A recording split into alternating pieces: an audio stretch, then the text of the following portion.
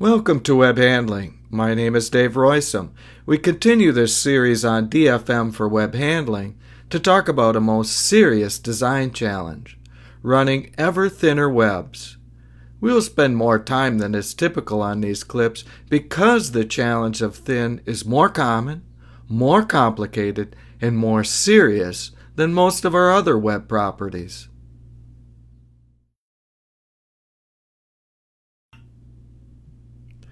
By now, we are all familiar with the web design process that begins with something the customer might want.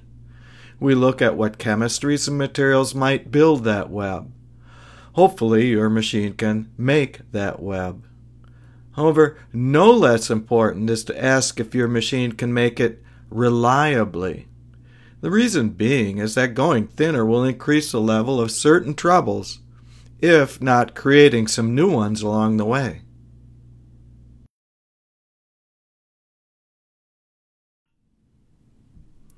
In this clip, we will outline areas of web handling concern, including the effects of caliper profile variations that will almost certainly get worse.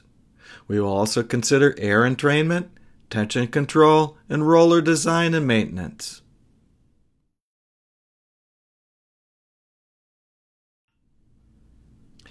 What we mean by profile is the variation of some important property across the width. Here we are concerned with thickness. We know that the web, and especially the winder, may complain on thickness profile variations in the range of 1 to 10%. At 1%, problems may be unnoticeably small. At 10%, the product may be unmarketable. Consider the tendency that most web makers have to a relatively constant absolute variation. Then, when we reduce average thickness, the relative or percent variation increases. And relative variation is what the web and the winder care about and will complain about.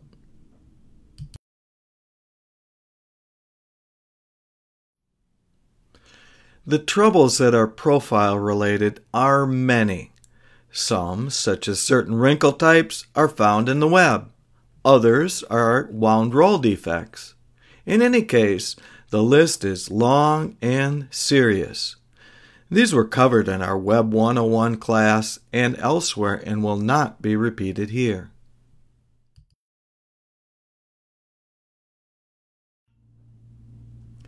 The amount of air entrained between a web and a roller or web and wound roll increases when the web thickness and also tension is reduced.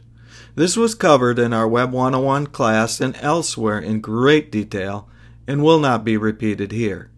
In summary, we know how much air is getting in and how to treat it, such as grooving of rollers or nips on winding rolls, and even quantitatively how much the treatment is worth in some cases, as detailed in my roller book and made easy on an Abbott app.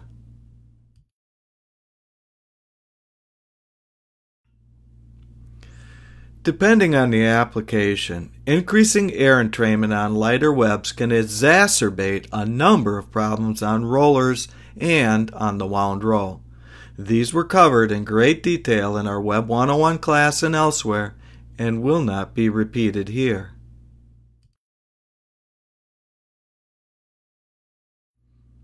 As we mentioned, lighter and thinner webs may want to be run at lower tensions. However, this can challenge machine design and maintenance. This includes mechanicals such as rollers. This includes every single aspect of a tension control system.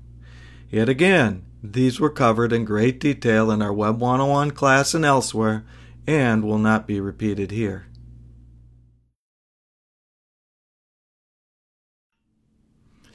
We often don't think about roller bearings until a roller stops turning and scratches the web or causes some other problem.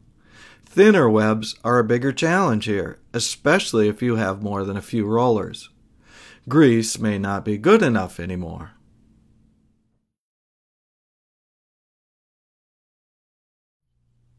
When, but only when, your machine changes speeds roller inertia might be a noticeable source of tension upsets, especially with lightweight webs. Perhaps your rollers are oversized for lightweight webs.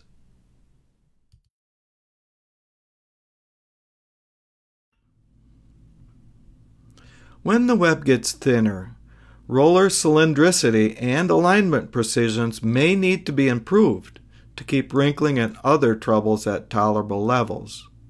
Perhaps now you might need to regrind nip rollers more frequently.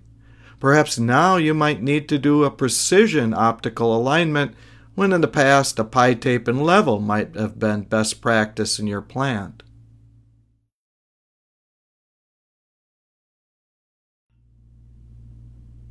The things you should consider when reducing web thickness is a very long list. Some of these may already be familiar, only now you have to do a better job. Some of these items you may not have had to consider before. Any of these items may keep your old machine from making your new product reliably. Come to my Web 101 class to find out what you need to know to think thin.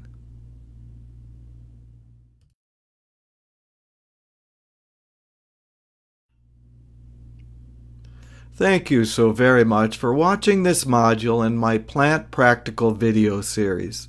Stay tuned for the next clip where we will talk about certain web geometries and how they can strongly affect waste, delay, and customer complaint.